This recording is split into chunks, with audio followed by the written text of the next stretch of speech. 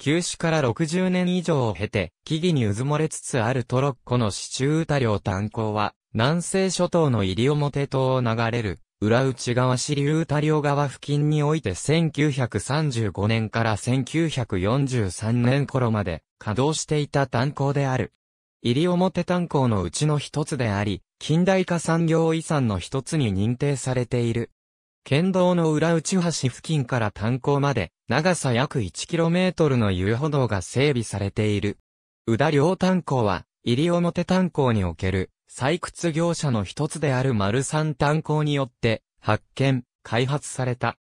丸三炭鉱の前身である高崎炭鉱は沖縄炭鉱の三谷港で50名の従業員を束ねる請負人であった野田小一郎、沖縄炭鉱の会計課長であった小栗小一、及び那覇市で金融業を営んでいた高崎小三郎によって1924年に設立された。当初は、西表島南西部の中良川沿いの炭鉱を運営しており、1933年から丸三号名会社に名称変更されている。丸三炭鉱は中良川沿いの石炭枯渇に備え、1930年頃から裏内側流域の地質調査を始めていた。1935年1月、占い川の支流である宇田両川の近くに大規模な石炭層が発見された。間もなく森林が切り開かれ、十数万円の費用をかけて、総2階建て400名収容の独身寮や十、数個の夫婦用宿舎、売店などの各種設備が建設され、翌1936年から、宇田寮工業所として創業が始まった。宇田寮炭鉱の石炭層は、厚さ60センチメートルの本層と本層から上型に24メートル離れた厚さ40センチメートルの上層からなる。埋蔵量は本層が100万トン、上層が50万トンと見積もられた。石炭は坑道からトロッコで歌両側貸しの貯炭場まで運ばれ、そこから20から30トン積みの小舟で裏内側河口まで送られた。最盛期の1938年には1ヶ月あたり2500トンの石炭を産出していた。レンガ作りの支柱当時の西表炭鉱は衛生状態が悪く労働条件も過酷なものであったが、丸三炭鉱はこれら劣悪な条件の改善を進めていた。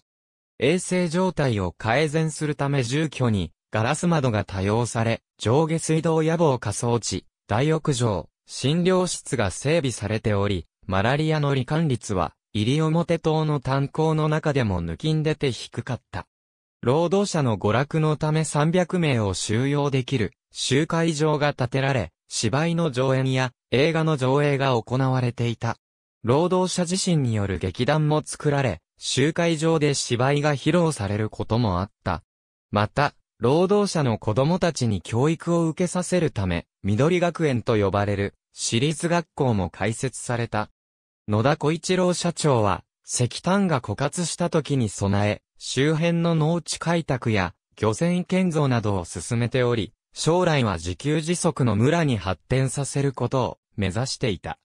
しかしながら、1941年に太平洋戦争が始まり、石炭の需要が高まると労働条件は過酷な状態に戻り、労働者の軍隊への招集や石炭輸送の寸断などによって1943年頃には休止状態になった。さらには沖縄戦の空襲によって施設の大半が破壊されてしまった。野田小一郎社長は炭鉱の再開を断念し占いで農業に従事するようになり、緑学園も移転して、後の竹富町立上原小学校の前身となった。炭鉱が日本の近代化に果たした役割を後世に伝えるため、2007年に日本近代化産業遺産群の一つに認定され、木道などが整備されている。